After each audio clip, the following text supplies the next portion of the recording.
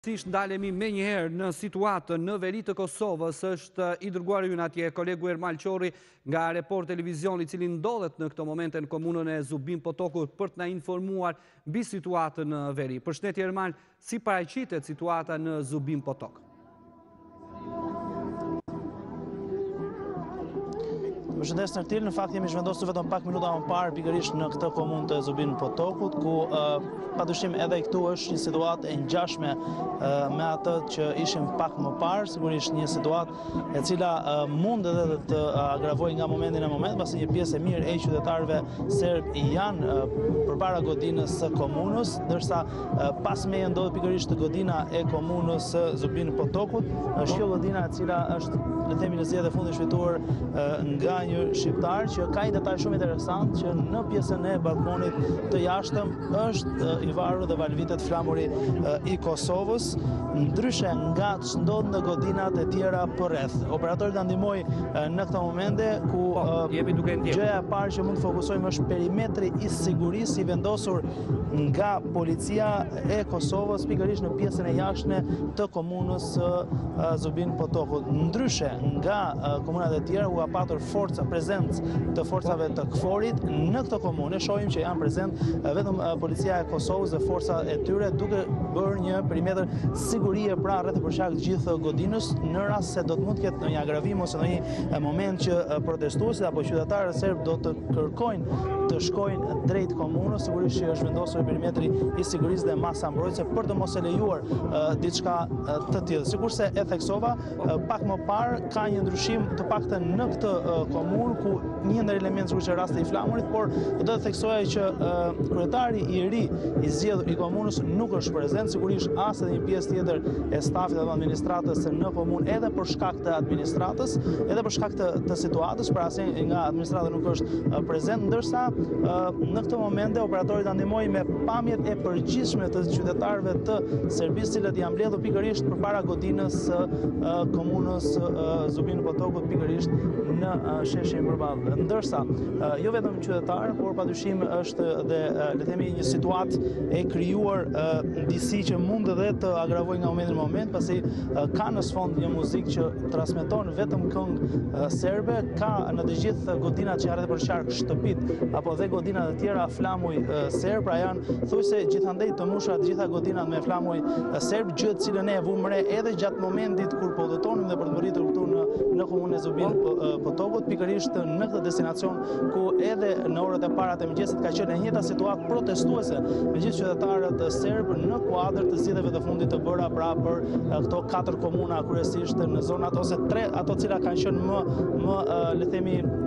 më më të nxehta ose situata që ka marrë vëmendje. Pra në pjesën pas meje operatori na ndihmon me një panoramim të plotë të gjithë qytetarëve që është një numër i konsiderueshëm në fakt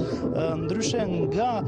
komuna e parë që ne ishim vetëm Pak orë më parë ku bëmë një raportim të përgjithshëm pra gjatë paradites së sotme, pritet që ndoshta më pas edhe në këtë pjesë mund të ketë ndoshta ndonjë tentativë ose le të themi ndërhyrje, por megjithatë të paktën në këto momente gjithçka paraqitet e qetë, në Zveçan ka qenë situata që të paktën në orët e para të mëngjesit u duk se mund të kishte një tentativë, ndërsa më pas gjithçka është normalizuar. Këto janë pamjet që operatori ynë na ndihmon në këto momente ku Janë në pjesën e pasme të qytetarëve një pjesë e trupës së KFOR-it për të ndërhyrë për të ndërhyrë në rast se do të jetë nevoja sigurisht për të marrë masat e nevojshme. Pra ka një organizim tjetër në këtë komunë. Ndryshe nga Zveçani dhe pjesa tjetër, këtu janë vendosur çadra, janë vendosur stola, gjithë qytetarët duket sikur Të paktën të gjithë banorët ose qytetarët serbë në këtë zonë janë zhvendosur në shesh, pasi duket që është një numër relativisht i gjatë. Nuk ka patur të paktën deri në këtë moment ndonjë tentativë për të mëshuar ose për të shkuar drejt komunës, nuk janë zhvilluar incidente, ndoshta kjo është vetëm pjesa e parë, megjithatë mbetet për të parë si do të vijohet në vijim. Ne kemi vetëm pak minuta që kemi arritur këtu me ekipin e Report Televizion, kemi patur mund të konsiderojmë disa Tentativa të vogla ose indicie për të provokuar, mirëpo nuk kanë qenë, le të themi, aksione që mund të kenë qenë fatale, apo që kanë qenë shumë serioze. Megjithatë, sigurisht ne po përpiqemi që të jemi korrekt me dhënien e informacionit edhe për të parë vetëm aspektin e punës dhe pa u përfshirë në në le të themi në ato incidente që mund të jenë edhe të, të kërkuara nga pala tjetër. Mm, Ermal, ju keni qenë dhe në Zveçan dhe tani në Zubin Potok. Po të bëjmë një një krahasim Nga këto pamje që ne shohim në po. Zubin Potok, gjithçka duket e qetë.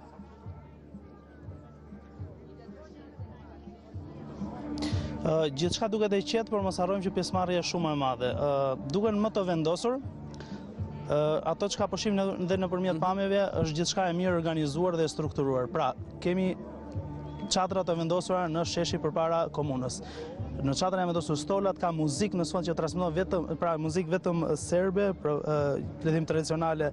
serbe, ka qytetarë të shumë në numër jo vetëm në pjesën e jashtme, pra le të themi që mund të jetë thuajse e rrethuar pak a shumë e gjithë godina e komunës, në të gjitha rrugicat e tjera që të shpien pikërisht në këtë godinë ka pjesëmarrje dhe prezencë të qytetarëve. Ashtu sikurse ka dhe prezencë të shtuar të forcave të mhm. policisë së Kosovës, por edhe të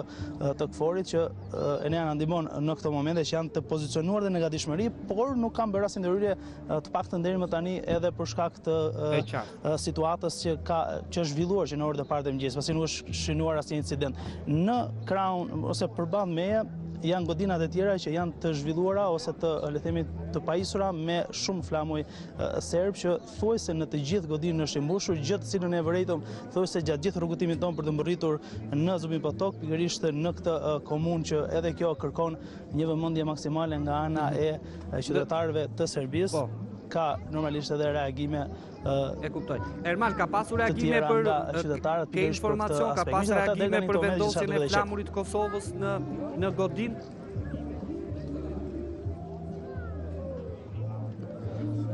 Të lutem edhe njëherë pyetjen? Ka pasur reagime nëse ke mundur të, të marrësh informacion për vendosjen e flamurit të Kosovës në godinën e komunës, siç ne pamë nga pamjet që na ofruat?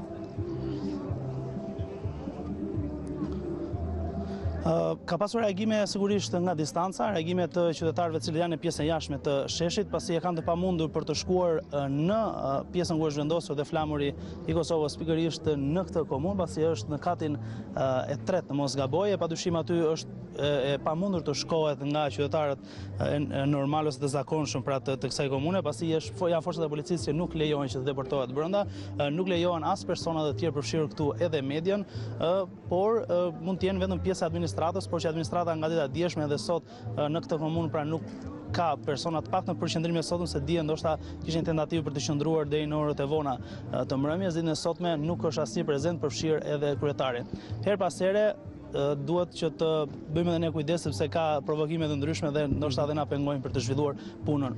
Pak e vështirë të, të tregohet në kamerë dhe të kuptohet, mirëpo thuajse gjatë gjithë sytë janë të fokusuar tek objektivi i kamerës, si të ishte në fakt kamera rreziku, por megjithatë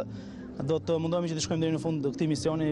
sigurisht në një formë të qetë dhe normale. Pra, e ndjeni edhe ju tensionin, pavarësisht se gjithçka deri tani është e qetë, pra ndjeni njëfarë presioni, e së të dyshë.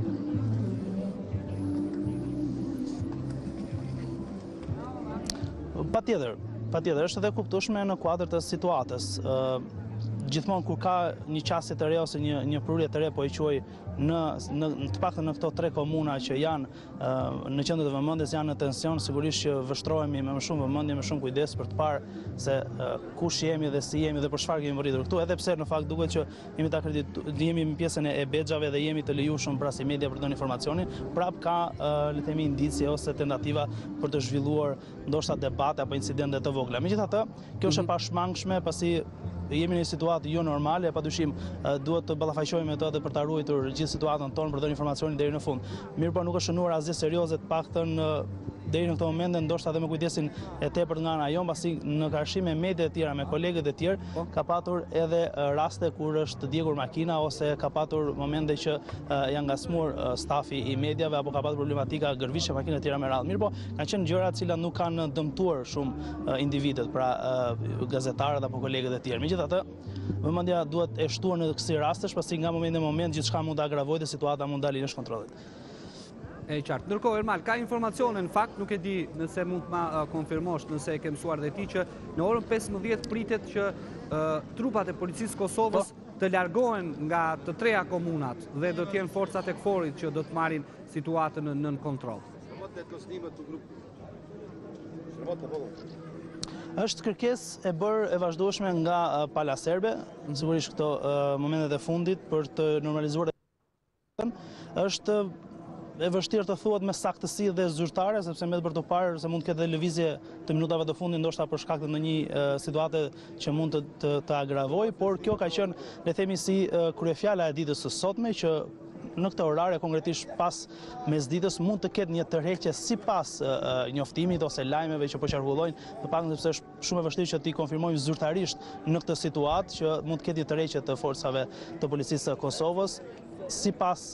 KFOR-it. Megjithatë, mbetet për t'u parë, edhe kjo mund të jetë një alternativë që qytetarët serbët në të treja këto komuna, të cilat janë në fokus, janë epiqendra e kësaj gjëje, pra mund të qëndrojnë qetë deri në momentin e një përcaktimi kohor paraprak, pra rreth orës 15 sikurse e theksove dhe ju për një tërheqje. Në të kundërt, ndoshta pas mesditës dhe situata mund të vijojë me një kundërpërgjigje në rast se nuk ndodh një në rast se nuk ndodh kjo gjë e premtuar sipas tyre, pasi shumë përflitet edhe mes qytetarëve serbë. Megjithatë, mbetet për t'u parë pasi të paktën në këto dy komuna që ne kemi qenë prezent në Zveçan edhe në këtë moment ku jemi, situata nuk ka patur incidente ashtu sikurse dita e djeshme, dita e djeshme ka qenë më e agravuar, ka qenë më serioze, padyshim ka patur edhe